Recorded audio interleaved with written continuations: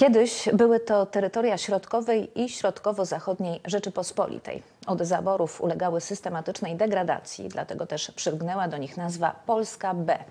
Dziś bogate w historię i tradycje ziemie Polski Wschodniej odradzają się, a ich piękno prezentuje ponad 400-stronicowy album autorstwa Adama Bujaka, fotografa znanego nam przede wszystkim jako towarzysza podróży i pielgrzymek Jana Pawła II. Beata Nowak. 177 miejscowości uwiecznionych na 660 fotografiach. Polska Wschodnia to ziemia o urozmaiconym krajobrazie i bogatej wielokulturowej tradycji. Tereny te przez ponad dwie dekady przemierzał fotograf Adam Bujak.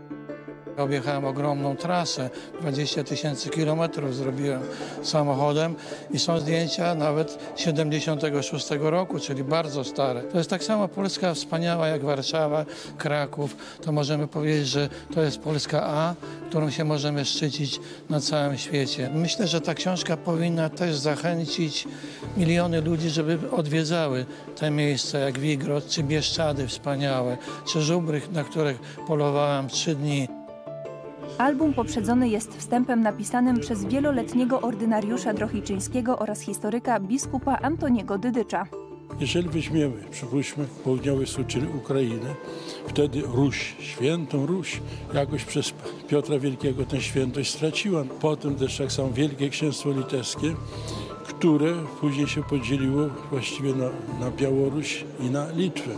Trzeba też było uwzględnić i Łotwę z racji na Inflanty, no i oczywiście Podlasie, które zostało zaliczone, częściowo Galicja.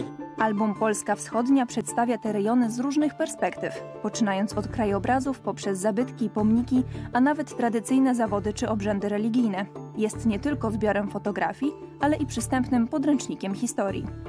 On y, nie powinien być oglądany.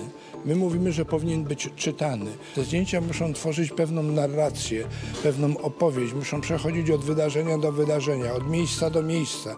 Niektóre zdjęcia pokazują życie, o którym wielu Polaków prawdopodobnie nie ma pojęcia. Przeglądając fotografie można zadać i odpowiedzieć sobie na pytanie, czy faktycznie znamy swój kraj?